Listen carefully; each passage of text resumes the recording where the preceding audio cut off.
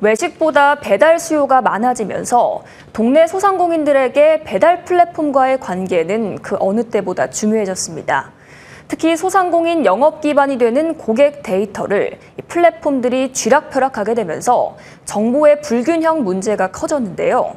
머니투데이 방송은 소상공인 자영업자들의 새로운 원동력이 될이 데이터의 중요성을 다루는 기획을 준비했습니다. 그 첫 번째 순서로 배달앱 3사의 데이터 상생 현 주소를 이원호 기자가 취재했습니다. 서울에서 23년째 식당을 운영 중인 오성진 씨. 장수 식당도 코로나에는 휘청했습니다. 오 씨를 살린 건 배달. 오 씨는 방문보다 늘어난 배달 수요를 잡기 위해 1위 기업인 배달의 민족과 손잡았습니다. 특히 오 씨는 건당 월 9만 원 가량이 드는 일명 깃발 광고까지 하며 플랫폼을 적극 활용했습니다. 일정 고객들에게 식당을 상단에 노출해주는 서비스인데 광고 효과를 극대화하기 위해서는 고객 데이터 분석이 중요하다고 말합니다.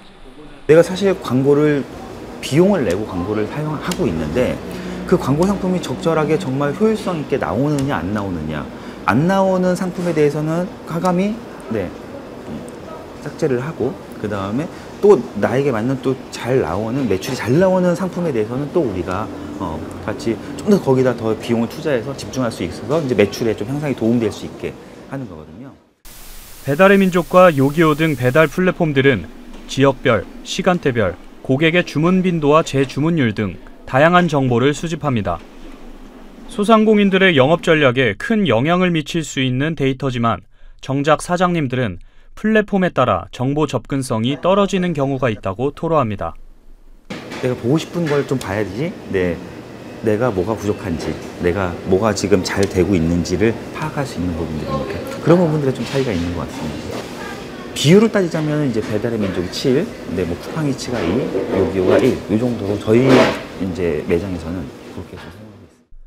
국회 정무위 소속 이동주 의원이 배달 플랫폼 3사의 데이터 제공 현황을 취합한 결과 배달의 민족과 요기요가 쿠팡이츠보다 상대적으로 데이터 공개에 적극적이었으나 자료 분석이나 정확도 측면에서는 여전히 갈 길이 먼 것으로 평가됐습니다. 이런 데이터들이 다 소상공인들이 영업 활동으로 발생하는 데이터 아닙니까? 이걸 플랫폼이 독점해 가는 것은 분명 문제가 있다고 보고요.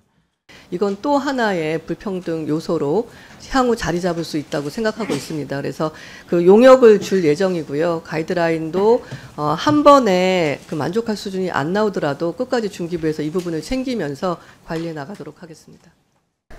배달 플랫폼 기업들이 동네 소상공인들의 매출을 쥐락펴락할 만큼 영업 생태계가 급변한 상황.